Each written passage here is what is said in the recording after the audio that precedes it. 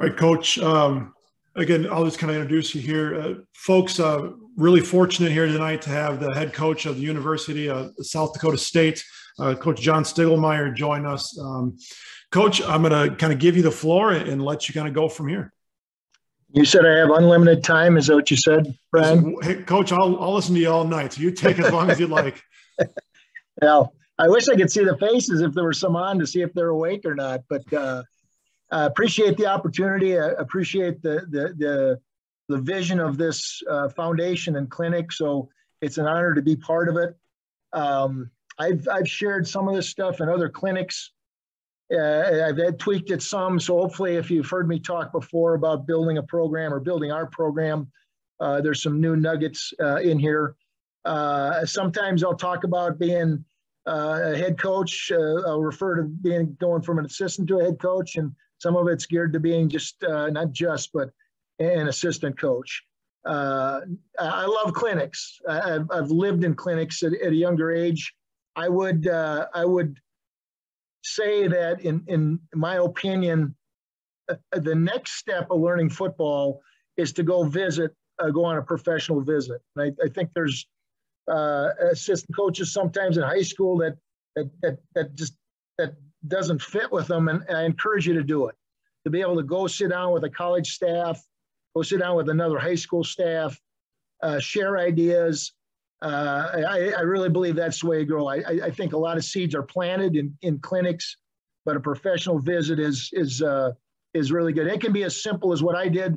I went from being the defensive back coach to linebackers coach, kind of midway through my career, and I called up a guy named Kevin Steele at Nebraska a well-known coach, and I said, I want to come down and I don't scheme. I, I want to talk about how to coach the linebackers, and I'd never done it. He'd done defensive backs my whole career, and he spent a day with me, and and and and I'm, I'm a slow learner, but it took a day, and I learned it. So, um, in fact, I'll make the offer.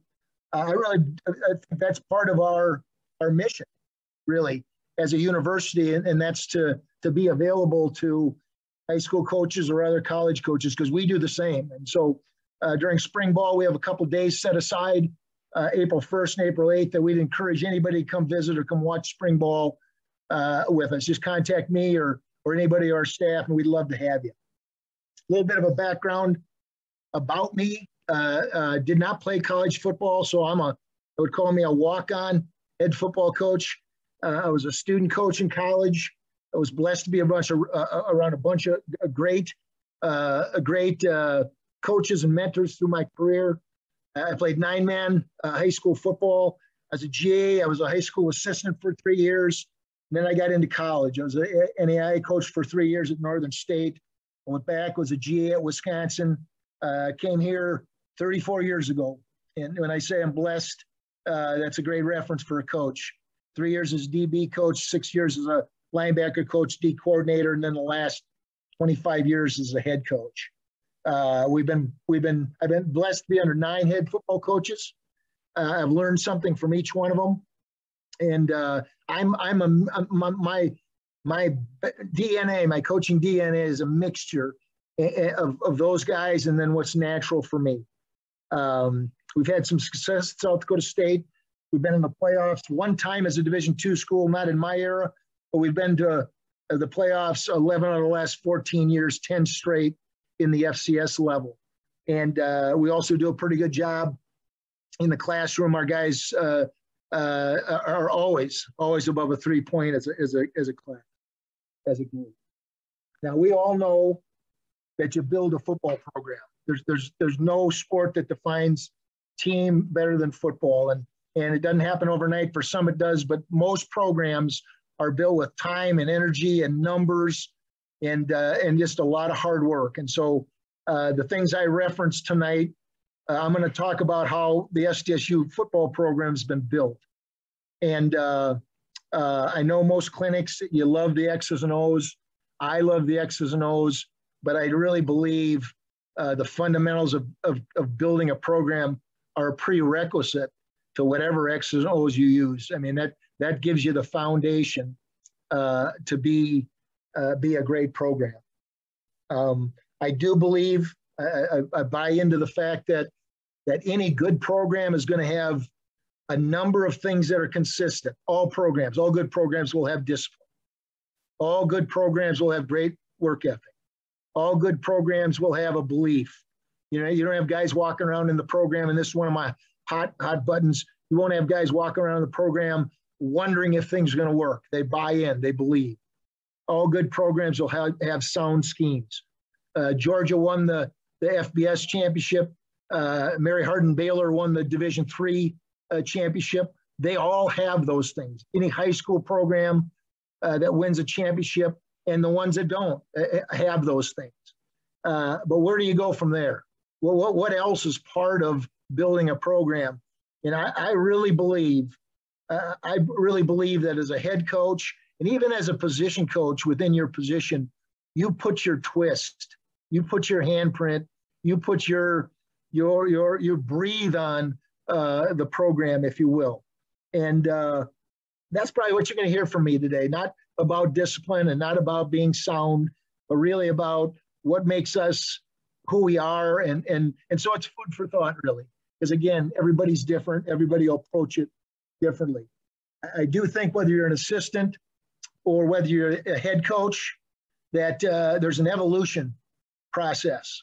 Uh, I don't think you're the same the first year as you are the third year and uh, and if you are, then I think uh, most most people would say you're not growing, you're not uh, you're not uh, doing what you need to do. And so some of these things that I bring up weren't th- th- this way the first year, 25 years ago when I became a head coach. I've evolved, I've changed, and and uh, but right now for the last I'm guessing 12, 15 years, uh, what I talk about has been consistent and has been SDSU football. I'll give you an example. We lost two guys to being head coaches this year. Um, Jason Eck went to be the head coach at Idaho. Brian Bergstrom is going to be the head coach at Winona State. He is the head coach at Winona State.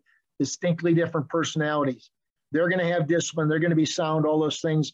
But I guarantee you, their programs will be distinctly different, even though they coached them in, for a long time in this program. And so that's just just how it works. By really getting to know you and then and a comfort zone for for for you and I, uh, whoever listens to this, whoever's listening to it. Uh, I, I, I know I'm Joe Average. John Stiegelmeier, Coach Stig is Joe Average. I, I, don't have any real gifts. Uh, my dad taught me a couple things on the farm, and, and that's how I approach life. Be a good person and work hard. But I tell you what, the normal curve, the bell-shaped curve, says 68% of us are Joe Average. And so maybe some of the stuff that this Joe Average talks about, you can relate to and uh, strikes a chord, strikes a chord with you.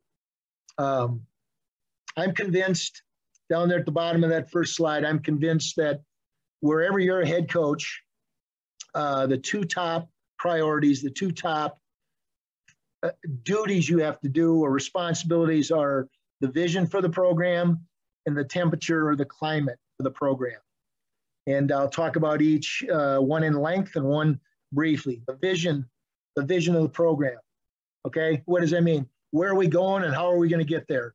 And your ability as a head coach to sell that and stick to it and to evaluate it and and to push it and get everybody to believe in it. We talk at South Dakota State about being a, a voice of one, right? That you should be able to ask myself or any of our assistants any question about our vision or our program, and we all have the same answer. That takes a lot of work, and that takes guys that believe in what's going on. You should. We talk about being one heartbeat, meaning we're we're all, we're, we're one uh, unit as a coaching staff, and I think that's really important. And I would pause here, and and just uh, I'm not going to pause, but uh, at some point in the night or tomorrow, whatever, uh, as a head coach. Um, uh, do the guys believe in your program? Because you can't have a vision without belief. All right, assistant coaches, do you believe in your head coach's uh, uh, leadership and his vision? And uh, I know what what human nature is, and I know uh, what what uh, writings say, but I'm going to be totally different from that. I should not have to earn the belief of my assistants nor should my AD have to earn the belief and trust uh, from me or the president from the AD and myself. That's a decision you make. And uh, most people are not wired that way. In fact, 99.9% wait for something to prove itself to believe in. They wait for the weight program to, to, to work or the pack plan, the system to work. And all we do is hold each other back. That's all we do. And if you're an educator, you know the power of belief and looking at a, a student and believing they're going to be great eh, rather than having holding them back by wondering or, or looking at them like they're an underachiever. Uh, our perception, our belief uh, makes a whole, a huge difference. And so uh, I ask everybody in our program, two-way street, believe in everything, believe in the players, believe in all the systems. Let's move ahead. Uh, then I get the uh, temperature or climate. What does that mean? Uh, that means how do the people feel in your program? And, and I know they talk about the janitors and the secretaries, and I agree with that. But let's talk about the, the, the, the people that are that you depend on. How do the people feel in your program? Okay, and I, I picture it as having a, a, a, spectrum. You know, there's there's a there's this varied way of people how people are treated and expectations. And I pictured one end of the spectrum the term love. People feel loved, and and you might flinch a little bit as a football coach, but there's no more powerful word I can use uh, to to to say something to somebody to tell them how I feel about it. I don't care if it's a freshman linebacker or my wife. Uh, I can say love to both. And at the other, other, other end of the spectrum is a statement like this. Uh, they feel like they're being interviewed every day. The players feel like they have to earn their spot every day. And I agree with competition and I agree with all that stuff. All right. Uh, but uh, I, I, I, totally believe that the more people are loved, the, the, the more comfortable they feel in your program, uh, the better they're going to perform. And let's go on record. If you, if you have the best athletes, uh, I don't know. I don't. I don't know if it doesn't probably not matter what we do, right? But there's only one team has the best athletes, and I bet if you would survey all championships many times, the team with the best athletes doesn't win the championship. It's the team that's the best football. And so, uh, what is the temperature uh, of uh, of your program? I believe uh, love is a great motivator. Uh, I believe I know that love is an intrinsic motivation, meaning it's in my heart, it's in my body, it's my soul. And, and putting pressure on somebody is an extrinsic. An extrinsic doesn't last. You have to do it over and over and over. You have to, you have to push that kid over and over and over rather than teach him that you love him and that you expect him and you believe in him and, and, and he will do great things. And uh, I, I believe in that. If you want a great model, a model, excuse me, if you want a great model for, for love and, and intrinsic motivation and, and coaching like this, the Fellowship of Christian Athletes have what's called three dimensional coaching. And it is phenomenal at looking at the different areas, pillars, uh, a pyramid type of deal uh, uh of how becoming a, a, coach that loves his players and, and, coaches them in all three dimensions. So, so, how do we create a program of family and love? How do we do that? Well, first of all, it's really hard in college. You know, our guys don't grow up together we get 25 new guys, 25 new guys on the average every year. They have no relationships when they get here and they don't know the football team other than maybe on an official visit, they met some guys for, for an hour or something. And so we have to work hard uh, to create family, to get to the point uh, where we can say we, we love each other. Uh, uh I know our players' birthdays. All right. I gave uh, three guys, I was behind a little bit today, but I gave three guys birthdays, uh, candy bars in their in their uh, position meetings. You laugh, you go, a big deal. Well, if I say everybody says we're a family, everybody wants this to to to to be able to say, "Hey, I love you," and it means something. Well, what does a family do? It celebrates birthdays. It knows more about the player than their height, weight, and, and 40 time. I talked to a young man, a, a transfer guy, yesterday in my office. Uh, his dad said if he'd have walked by the head coach in the program he was in, the head coach wouldn't have known his name uh, that, that I, I, feel sorry for the young men in that program. Really, uh, what what a, what a tough situation. Uh, I know our coaches' anniversaries. I try to I try to honor that. Uh, we treat everybody as an individual. This is totally against the book. We treat everybody as an individual. In other words, I don't hide behind a policy or a theory that says you have to be at everything all the time. All right. I believe that if uh, I to try to work out things that are important to their, our young men, be it class or be it a, a, a brother's wedding or whatever, that young man's going to work harder for me for the rest of his days. And uh, and so a young man knows he can come into my office. I've got about about a bunch of uh, get out of jail card free cards from Monopoly, and they they they can ask me. They can ask me, is it a way to get to do this? And we will work it out. Our coaches do it all the time. Uh, we had a coach that went to his daughter's state wrestling tournament last week. We worked it out. We met around it, and he was able to experience it with his family. He said, it's, uh, "What? what you know, think about it, college coaches. Does that happen in your program? What are you missing that you, you could work out?" And I'm not saying again, I'm not saying we're better. Uh, I'm going to say we're different. Uh, I let a young man miss two days last week because his, his, his mom was struggling. His mom was really struggling, and his, his brothers and sisters. And uh, it's hard for me to say we're a family. I love you if I don't let let young men try to get there. And I, I know this young man will work harder than uh, than he's worked because of it. Uh, so I so how do you motivate a guy? How does a guy feel good? How does he feel comfortable in your your uh, in your program? It's when you love him, when you take care of him, when you when you recognize his needs. Um, we have a, we have a Monday night non-football meeting, right? Listen to this. We get 20 hours with our players. Most coaches can't talk about anything but football. We have, we have a designated half an hour to 45 minutes in our program on Monday nights during the season, right? Right, right after we put in the initial install, where we sit down with our players and you can't talk about football. It's a non-football meeting. Why in the heck would we do that? Well, how do you get to know each other if you if you don't talk about something other than football?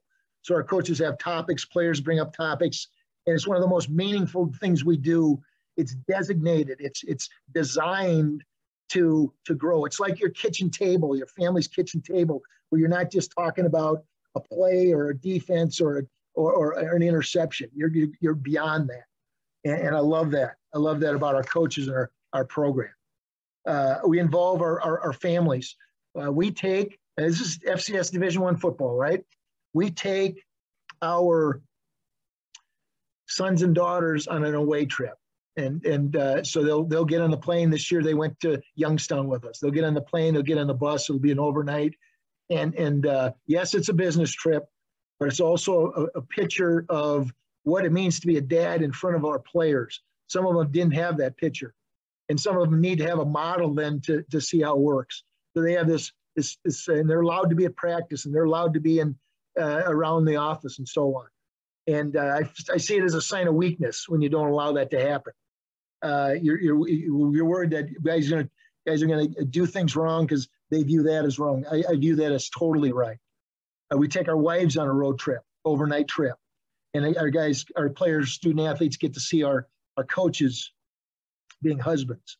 And again, uh, the way our world needs, we need to be fathers, we need to be husbands, we need to be examples to these young men that we're entrusted with uh, for five short years. Uh, we used to go on a retreat to Rapid City, six hours away. Jump in the bus, go out there, stay in the in the uh, National Guard barracks. We used to do a clinic. We used to do a, a, a camp. We, we do service projects. We visit Mount Rushmore. What are we doing? We're growing together relationally. Nobody wanted to jump on that bus for six hours. but they came home, they felt better about themselves. They felt better about their teammates. And it was a special memory talk about a goofy deal. A bunch of 18 to 23 year old guys running to see Mount Rushmore as if they've never been out of their state. So it's really cool, really cool experience. What else? What else about Tempe? Well, how do we coach? How do we coach on the field? You know, I've been to some some practices, and and and again, uh, I'm talking about my twist, my personality, my handprint in our program, and how it's been built and what it's about uh, everybody's going to be different. But I've been to some some practices, college practices that you you'd have thought the F word was part of a football technique. You'd thought that profanity was was uh, uh, in a football manual. Uh, uh, it was used so much, and I just I just uh, don't see that creating a good climate. I, I really don't. I see it as a sign of weakness.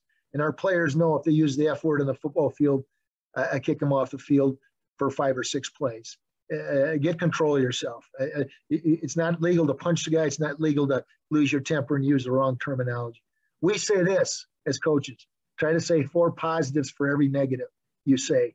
Try to layer it, sandwich it. Positive, a correction, a positive. Uh, and it might be just, I love you, man. I love you. Keep going hard. When, when, when, when he didn't go hard, you know, uh, we praise loud, criticize quietly. This is another thing I see over and over that for me, uh, it does not make sense. Uh, if you want to correct a young man on the football field and he's surrounded up by his peers, why would you go off on him? Why would you try to teach him something by embarrassing him? Why wouldn't you praise loudly? When something's right, do that. When something's wrong, take him aside and ask him, first of all, what's going on? You're having a tough practice. Is something else going on? And then make the correction and make sure he hears you and make sure he knows he loves you and you care about him and you're not going to skin him alive. I've seen a young man at a professional visit skinned alive uh, uh, symbolically in front of his teammates. And I don't know the background story. I don't know that, but I, I was I, I hurt for the young man. I, I, did, and I don't see any place for that at any level uh, of football. Uh, if you do rip a guy, repair him. If you do rip a guy, go in the locker room afterwards and, and sit down with them and clear it up. And uh, we've had days where I've told coaches, you only say positive things. If there's if there's something negative that should be said, you just wait until film or or don't don't ever say it. Only positive uh, things. Uh, and, you know, I don't have a position group, so I, I my position group is our assistants, and, and they are an extension of me. And these are things that I expect from them in terms of the temperature, the temperature of our program. So that's uh, two of the most important things. Um, next, we have a picture of some of the some some of our, our coaching manuals. All right. Now, I've seen coaching manuals that are uh, you know a, a, a, notebook deep, an inch deep, and and there's a lot of stuff in there, and there's a lot of good stuff in there. Uh, our our coaching manuals on one sheet of paper, one sheet of paper, and this is about I would say two thirds of it because of the slide and the work study girl that did it and all that stuff. But I'm going to go through some of this stuff and and and and and uh, explain again how our program works and how it's been built and so on. Uh, up at the upper left-hand corner, top left-hand corner, when we went Division One, we used a, a, an organization called Carr Associates, and and they mentored us. First of all, they did a study and said you can go, and after they said you can go, then they met with us. I think every third uh, week and, and, and gave us insight in the process and what was called the reclassification. It was a four-year deal. We had to go four years. They spent, I think, two years with us. Very intelligent guys. Uh, Bill Carr and, and Gerald Odell are the guys we dealt with. It's irrelevant what their names were, but I, I, I cornered those guys at one point and I said, when you recommend a head coach, because they do head coaching searches too, when you recommend a head, co- a head coach, what are the two most important characteristics for you to feel good about that that that individual? And they said those two things up at the top. Good judgment which is using all the facts and making the correct decision. Okay duh. But evidently some guys don't have that. So this becomes really important. Then intellectual curiosity. We call it daydreaming. All right? Intellectual curiosity. The desire and effort to continue to try to grow and improve what does that mean? Constantly looking at your program and saying, where can we tweak it? What's a better way to do it? Uh, what's a better way to, to, to run practice?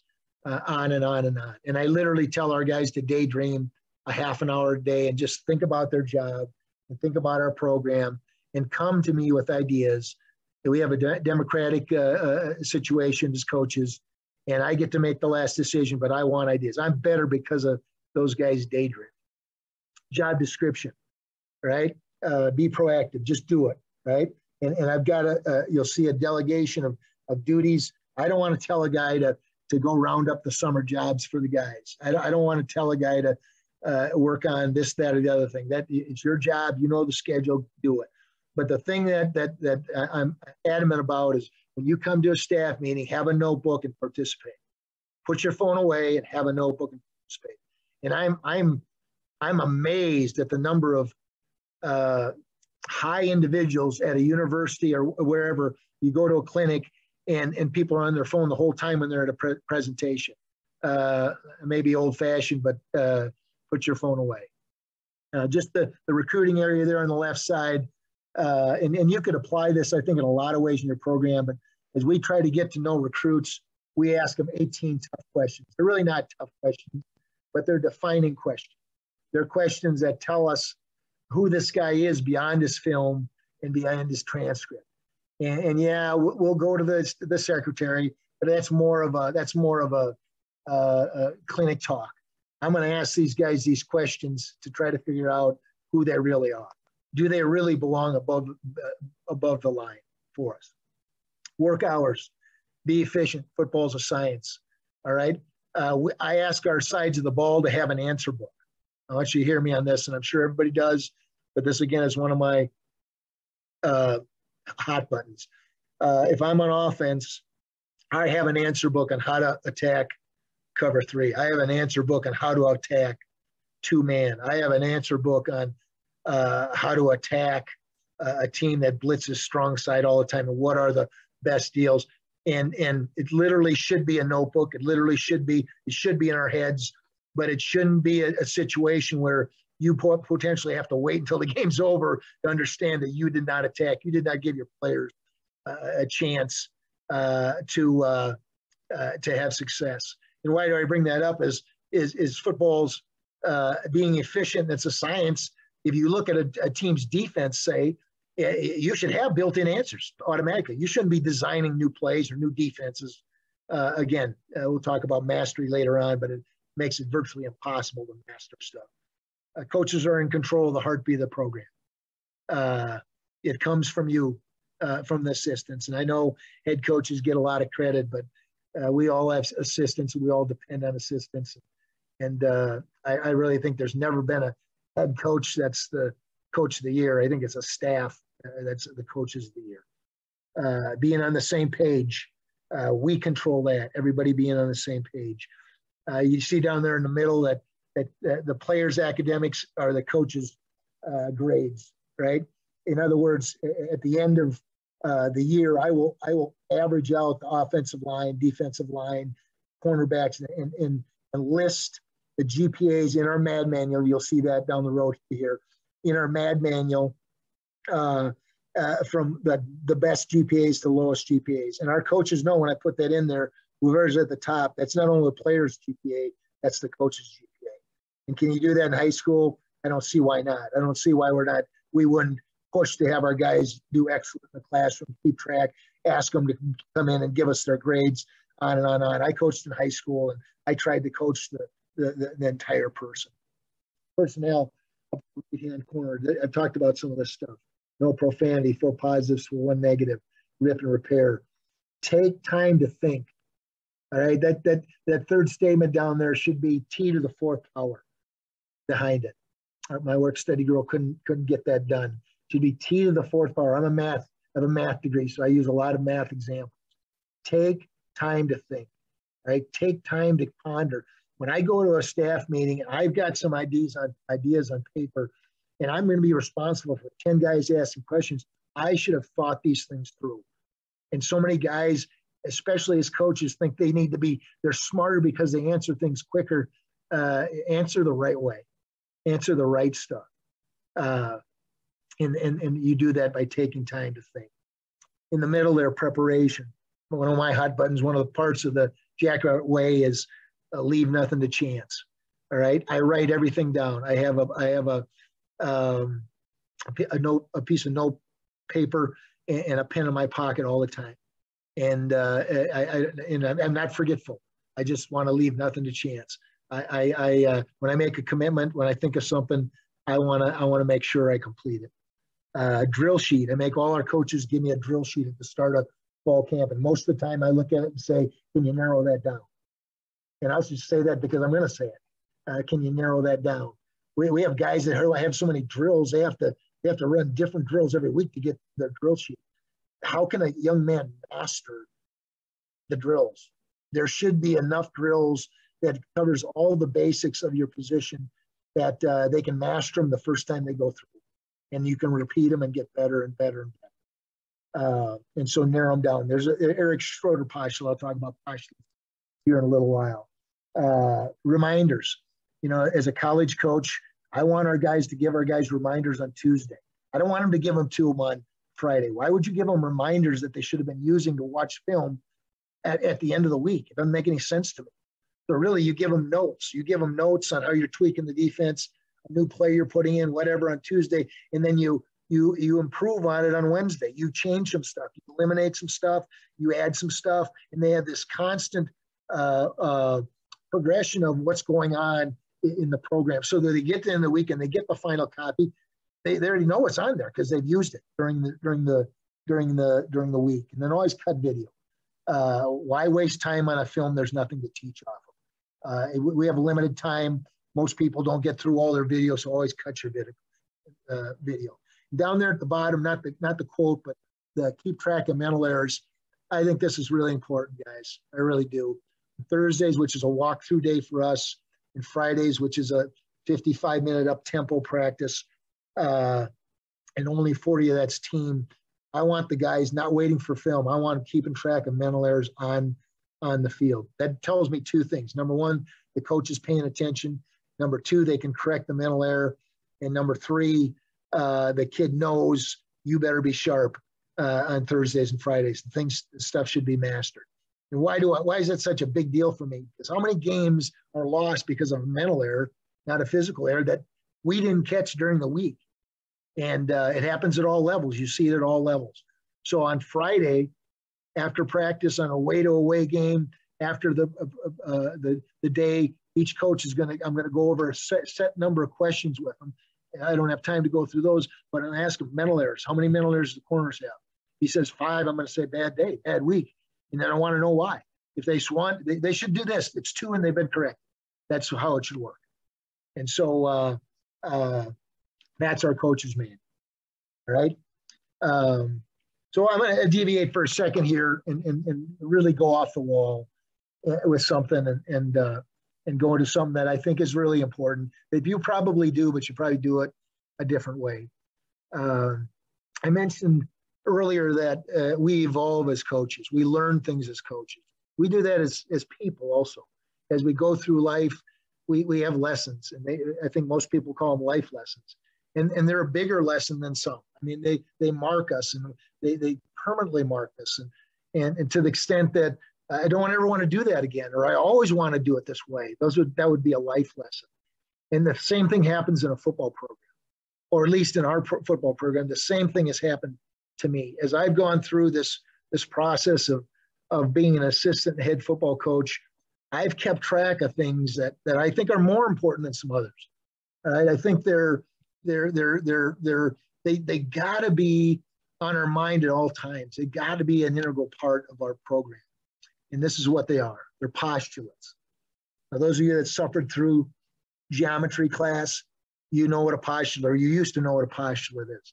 A postulate is a, is a statement that can't be argued. It's true, right? Two points define a line. That's one of the postulates, maybe the first one. Nobody argues that right? So nobody argues our postures. These are things, experiences I've had that I want either the lesson to, to be with permanently with our program. I, I, I don't want the, the air made ever again. Uh, I don't want this way of doing things done ever again. And so I name them a postulate. So I go over these every year with our coaches because there's a lesson in each one of them. And I'm not going to go over all of them, but uh, maybe a few and a few that would would relate. Noah Boucher Posh. Noah Boucher was our starting quarterback my first year as a head coach. He was a really good player. He had sh- shoulder surgery after the season, went through winter workouts, went through uh, spring ball, couldn't do anything. Came into my office with his senior, uh, with his junior year interview, and I said, "So what are your plans next year?" And he said, "I'm going to graduate." I said, "Whoa, whoa, whoa! You're you're my starting quarterback. You're going to graduate?" And he said, "Yeah." Um, I got enough credits. I was going to work on my master's, but I'm going to just graduate. I said, why is that? He said, Coach Stig, and he was very respectful, very respectful. Mo Boucher is the salt of the earth. He said, Coach Stig, you, you talk about family, and not not once did you or one of your assistants, one of our assistants, ask me how I was doing. That whole time I was at every practice. And he said, it just, it just, I just didn't feel like it belonged anymore. So what does the Noah Boucher postulate mean? it means when you have an injured player, he needs you more than your healthy players do. you need to check in with those guys periodically and not forget them. Now, who are we trying to get ready, right? We're trying to get ready the healthy guys and so on. But, but who needs us? Who's the guy that's hurting because he can't be out there? Uh, and so here's what how it works in, in our program. The trainer comes in, he goes over the, the, the injury report, and he'll say, uh, so and so's out for three weeks, so and so's out for, for the season, so whatever. And I, I just say this Noah Boucher postulate. Not trying to be funny, not trying to be speak down to people. They, they know what I mean. Jimmy Rogers postulate is Jimmy Rogers is our linebacker coach. He was a two-time all-conference player for us, a phenomenal football player. Did not have the physical measurements to be on the field. Yet nobody could keep him off the field. And so when guys come around and they they talk about how even in high school how a guy can dunk the ball or how a guy runs the 200 meters or how far he throws the shot put, I say Jimmy Rogers postulate, which means what? You win football games with football players. I'm fine with all those other measures. I'm fine. I get excited about them, but they better be passionate about the grind of, of, of football. Doug Wentz postulate says, believe in your players. Long story, believe in your players. San Antonio postulate. We go over something in the staff room. It's been heated discussion. I said, this is what we're going to do. San Antonio postulate.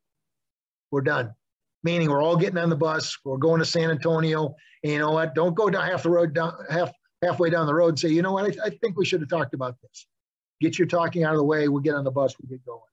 Um, Rob Sarvis postulate for you assistants, you better be on your head coach's page. You better speak and, and represent what he represents because you want to have a cancer. You want to have something that dissolves a program, have assistants that are saying something uh, different than the head coach. Mike Barber postulate is, uh, and, and Bo Pelini, uh, uh, Belichick, those are all good postulates, but they, they, are more philosophical. Uh, Mike Barber postulate, the summers for getting better as a football player. Mike Barber was a walk-on linebacker from Sioux City, a great young man, great player, great, great dedication. And his deal was uh, the summer's not for making the most money. It's for having a job to survive, not wear your body out and become a better football player. and uh, Eric Schroeder postulate is, uh, I believe Eric Schroeder hit the sled for five years in a row and believed he got better every time he hit it. And what does that mean? It means the grind of football practice, embrace it, embrace it, and believe you're going to get better at those mundane drills that you do. Uh, the Proverbs postulate, those are four Proverbs that uh, talk about the evils of gossip. How many coaching staff have three, four guys sit around and talk about what's wrong or what's right or bash a player? And and, and Proverbs pretty wise. The guy that wrote Proverbs is pretty wise. He, he talks about the the, the, the uh, negatives of that. Pine, Arkansas Pine Bluff, Postulate. I never thought we'd beat a team 90 to six. Never imagined that. That'll never happen again in our program. And the elliptical postulate is it came from the pandemic if you if you ever worked on an elliptical, an elliptical exerciser, and you take your pulse after you've gone for a while, I've got this system that I use. I take my pulse, I write it down. I know when I take my pulse at a time where I haven't worked hard enough that my heart rate's heart rate's going to be lower. I know when I slack. We all do. That's what the elliptical postulate says. It says you know when you walk out of the meeting, when you walk out of the, the office, we walk off the practice field. Did I give it my all as a coach? or did I slack off? Because the elliptical posture, the elliptical machine will tell me, it'll tell me objectively uh, that I failed. Uh, some other things we do in our program, I, I require our coaches have a pen or a pencil in their, po their pocket at practice. Uh, a lot of P words there. Um, why? Because uh, I, I don't want to miss a beat. I think to, to think that you're going to remember that you wanted to watch the left guard on play seven of team is is not a good situation, leaving something to chance. Uh, we have a summer shirt we give our guys. It's it's it's compounding interest uh, uh, equation. Our guys are better in math because I'm a math uh, uh, guy, but it, it, this year's is going to say this 1.005 to the x power. X is a day. Every day you put a day in there, you increase, you improve yourself a half a percent. This year, first year was 1.001 to the X power. And all I'm telling, I'm telling them, I want to give them a new shirt. I want them, I want to remind them that every day they work hard, every day they work hard, it compounds. That's how strength gets better. That's how condition gets better. That's how giving speeches gets better. Uh, um, uh, all those things. And so uh, it's just a reminder, a unique way of saying, and in fact, I asked them, what does that mean? And, and most of them laugh at me because they don't want to answer the question. But it's just a reminder that every day, even the days when they're not working out, but they doing, don't do something negative to their body, I say, you get to put another number in there. You know what? If you, if it, this is, this is cool. This is a good, good example. 1.005 to the 70 power to the 70. That's 70 days in the summer. That comes out to be 41.7% improvement. Unheard of. Would be impossible. Would be impossible. But they know because that number is so big that, that every day adds to something. And uh, it's, a, it's a cool deal in our program. We put last play on our helmets, the term last play on our helmets and uh, uh, on, our, on our travel gear. What does that mean? if you were practicing today, if you were playing today, if this was the game where, where the, the good Lord said, you don't get to play another play, whatever happens, it's your senior year in this last play, it's a, a career ending injury. How do you want to be remembered? When you watch that last play, if football's really important to you, which it is, uh, how do you want to be remembered? And, and, and that's what last play means. Play every play like it's the last play. We start practice I say shake it up. An offensive guy goes to a defensive guy and they shake hands and they say last play to each.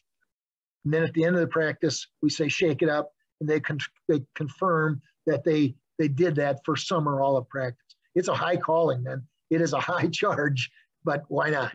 Why not? Only one team wins the national championship, one state championship, uh, district championship. Uh, uh, we haven't won one yet, so we're going to keep pushing. We're going to keep pushing.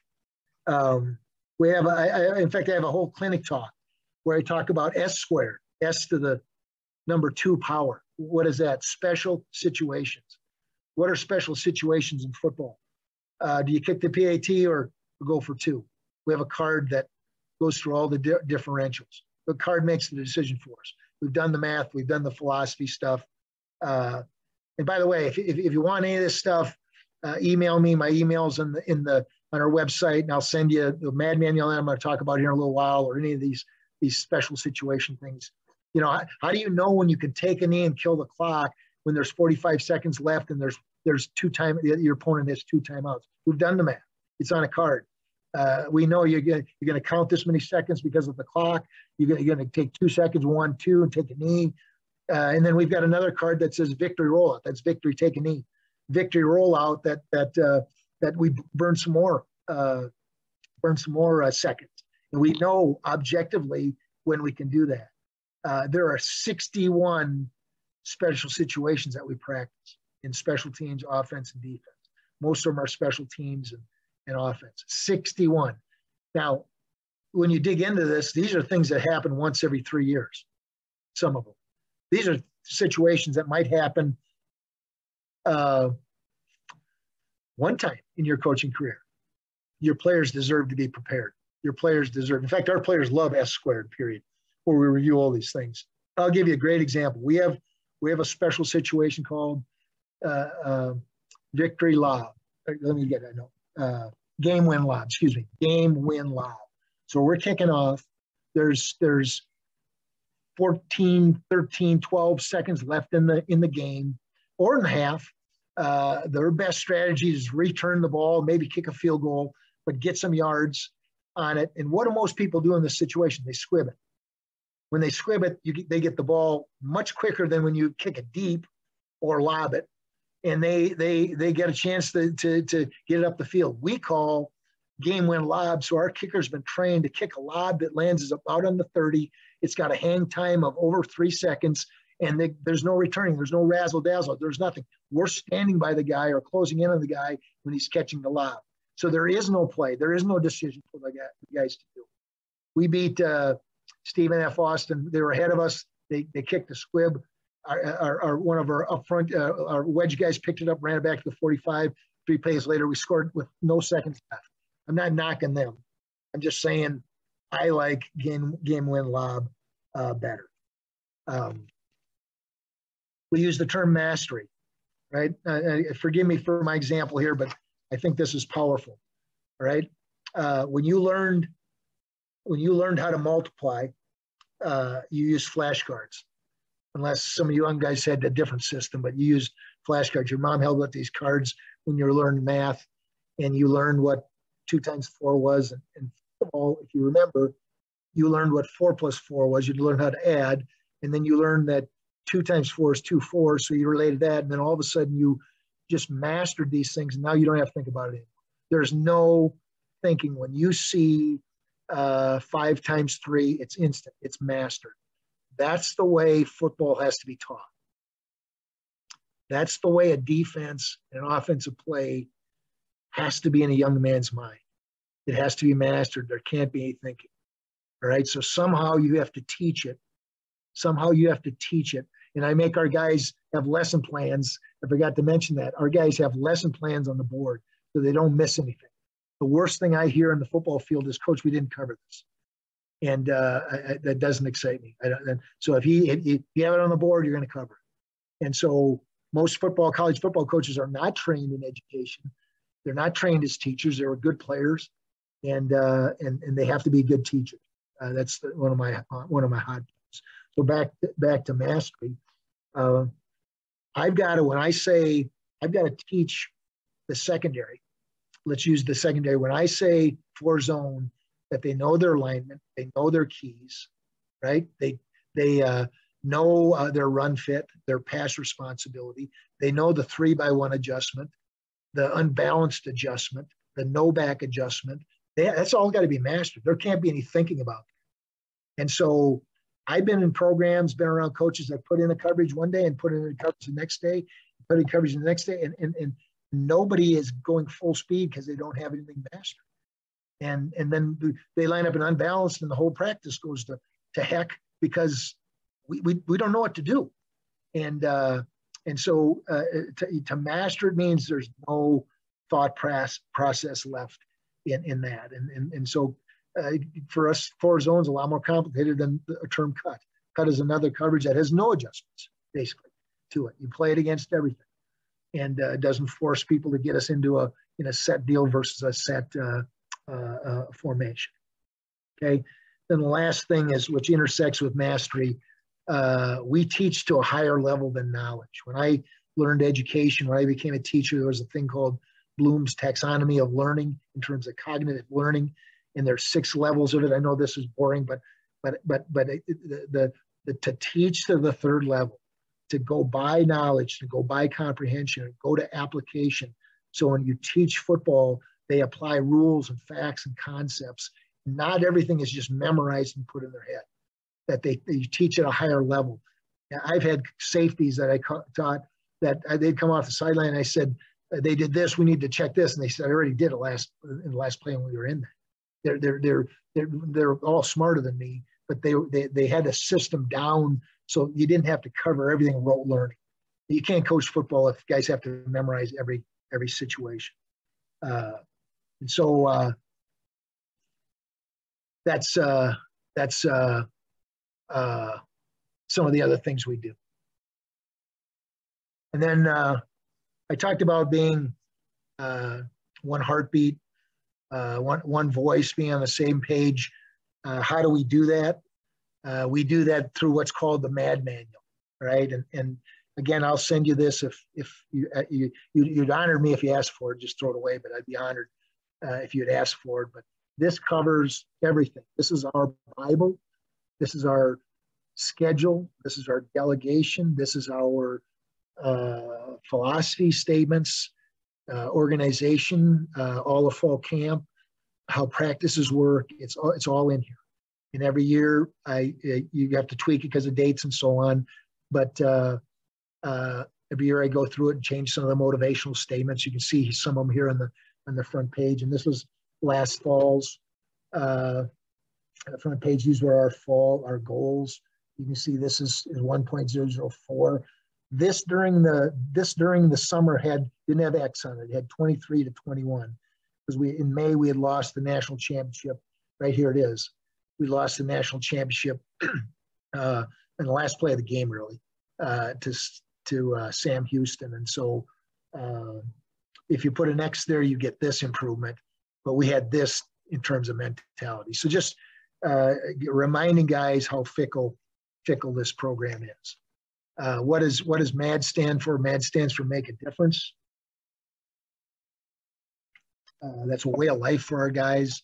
Again, we approach football uh, maybe uh, maybe a little more ways than some, and, and we want to mentor our guys to to be more than just student athletes and to go beyond. And so, my brother years ago, with tears in his eyes, challenged me to to to, to make a difference, and, and, and he marked me. And so it permeates our program and uh, and so the mad, hence the madman. You know, there'll be there'll be notes from players, there'll be motivational things on every page for the most part. Just just trying to make it entertaining, but but make it businesslike. Uh, we have a page on really saying how blessed we are to be in the United States, South Dakota, South Dakota State University. Uh, talk about the history of things. Uh, we sing the school song at the end of uh, every home game with the band. It's it's really a cool deal it's it's it's it doesn't sound good, but because uh, of football players, but it's really a cool uh, deal to be part of that. Uh, you know, we we have some of the best facilities in in FCS football. We have an indoor, we have a brand new five-year-old stadium. We have this facility I'm in here that's a one-stop football shop. It wasn't like that in 2004, or five or six or seven when we reclassified. And these are the guys that stepped across the line. Again, I said, I said we'd been in the playoffs one time in the history of SDSU football, Division two football. We went Division one FCS. We had four years of reclassification. We didn't go to the playoffs 2008. We went 2009. We didn't go 2010, 11. And then we've been to the playoffs um, 10 consecutive years. It's because these guys stepped across the line. And I want our guys to know that you know, I've been here long enough that I can talk about the history, and I can talk about those three guys that are bolded that aren't with us anymore. That that that you know, you talk about last play. It also belongs to life, fits life. To live every day uh, like it's your last, and, and why not? Why not? These are the guys that built the SDSU football program that crossed the line and, and said, let's change it. Mission statement, vision statement, uh, boring stuff but uh, we had to do that when we went Division One. We had to uh, write those down for Current Associates. The the the the quote that's the, the thing in the Mad Manual that's talked about more than anything is burn the ships. And many of you heard the story of Cortez going to uh, conquer the Aztecs, and we got there to make sure none of his guys thought a second about it or turned back. He burned the boats. He burned the ships. And it's it's a statement that says total commitment, totally in. And uh, and so, you know, when you talk about the Mad Manual, which I go over every year, so some guys hear this five years, the same types of stuff with some different tweaks. Uh, this is the one that they, they that resonates with. Down there at the bottom are things that SDSU football is, and you can see how we've evolved. The bottom right-hand corner, at one point wanted to make the playoffs. At one point that wasn't good enough. We needed to be a top eight seed and get a bye. And then we got the taste of the semifinals, which we've been in I think, for the last five years. Uh, next thing we need to put down there is the ultimate goal. And uh, again, this, be a true freshman, and this is all new. Be a, be a redshirt freshman, and yes, I remember him talking about that, and I, and I know this, and it's, it's part of me now. And, and, all that stuff means something. Some of it's outdated, so it's in, in, in brackets, but it means something. Uh, our old stadium, our new stadium. So uh, I love this page. This talks about all the things that don't take talent that make you a better football player, make you a better person. And uh, again, this is in there on the left hand side. It looks different in the Mad Manual. It's more of a uh, um, uh, figure eight shaped deal or eyeglass type. I don't know what you call it. But every year I change the ones that are bolded based on, and maybe I'll keep some the same, but based on the last year what, what do I want to emphasize? And our guys know that. And I, I, I think they kind of look forward to getting that page when we're going over this stuff during fall camp and seeing what Coach Stig is, uh, is uh, emphasizing this week or, or this year, I should say.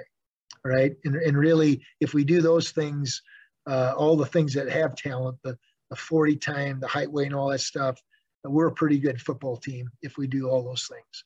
And it's, it, it takes, it takes a lot of work to do all those things. Uh, we talk about goals. You saw my goals for fall camp on the front page.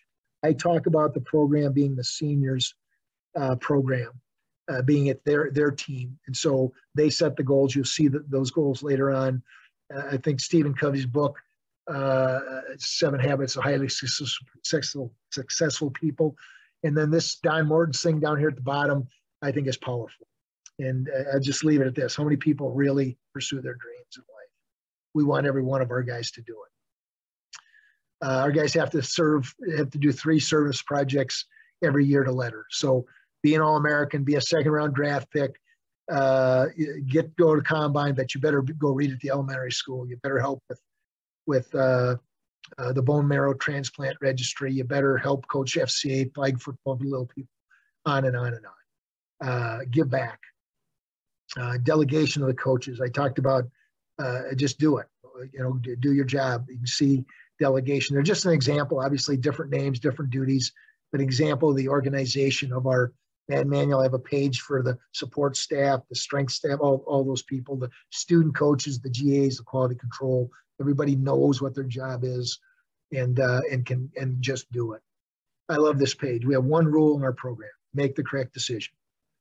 And I've been challenged on that uh, by what if they don't know what I think the correct decision is? And my answer is they better ask. All right. Don't, don't, don't, don't just guess. And, and so make the correct decision. That's one you would stand by.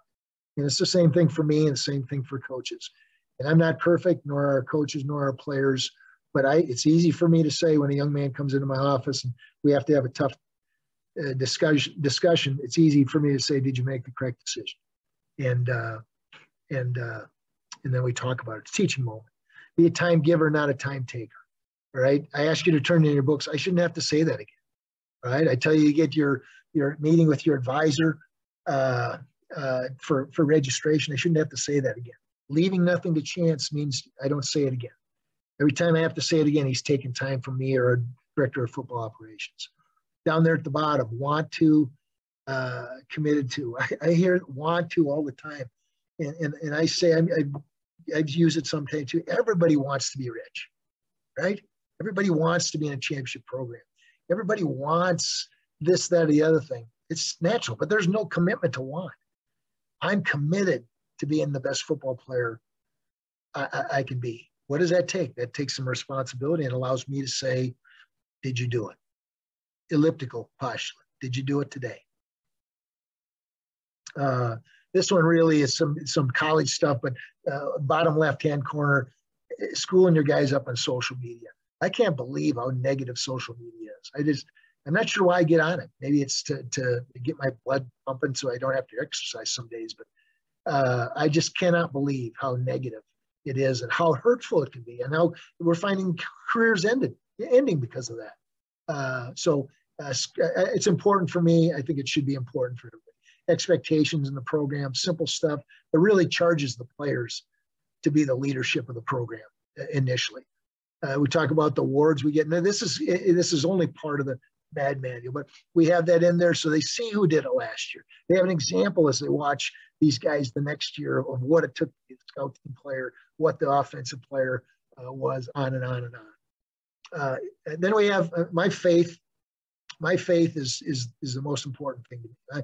I, I coach the way I coach is is uh, really based on uh, my faith and my. Uh, I believe God put me in this situation I believe I'm blessed to, to this was his plan for me, his dream for me, if you will. And so we have a section on on, on being a better person and, and maybe maybe making that decision to to uh, follow Christ. And this first one's about a guy that had had three reps in his career, and it's a cool story. And then there's uh, Chuck Swindoll's attitude statement that if you don't have that laying around your your your uh, meeting, your program, I suggest you do talk about what it, what does it be to, what does it mean to get a, be a man. I got this from the head coach at, at Morningside. He had something like a winner's manual or something. Powerful stuff, powerful stuff. And, and we're dealing with guys that are men. We're dealing with guys that should be the example in their communities and their families of what it means to be a right kind of man. Uh, what is humility? Do we see that on TV? No, no. So teach you guys what it means to be a humble person, a person with humility. Uh, so this is the foundation, right?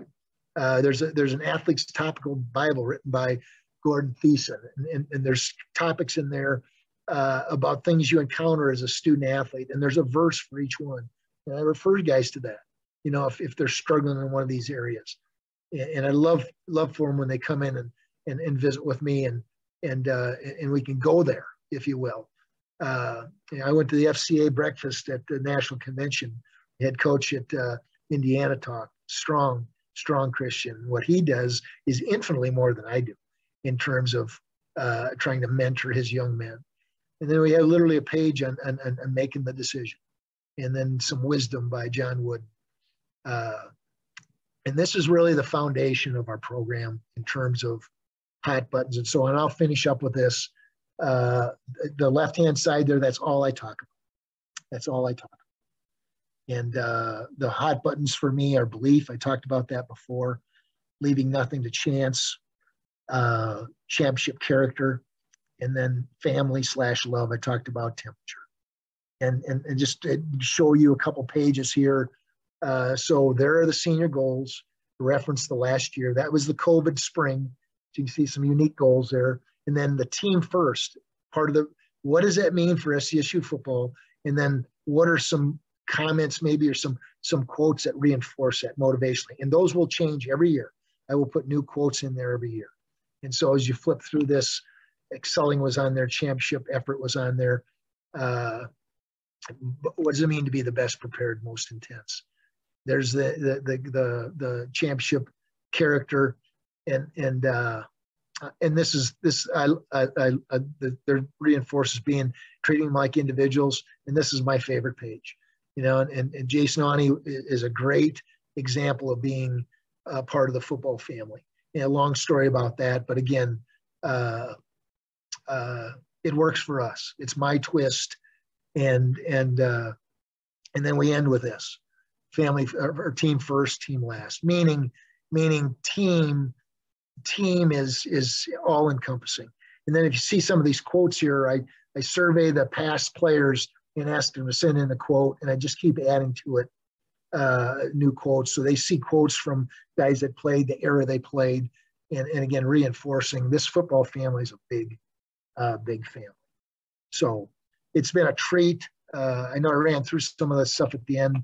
I, I, would love to share anything with you or get on the phone and talk to you about if, if anything uh, struck a chord with you. We'd love to have anybody visit. Uh, that's part of our mission. And, and, I love, uh, I love, I'm honored. I'm honored to be part uh, of this mission and this, uh, this clinic and, and, and can't wait to listen to some of the speakers, which, which I look forward to doing. So Brian, are we good? Yeah, coach, we're great. Um, hold on one second. I'm going to press stop here for the recording.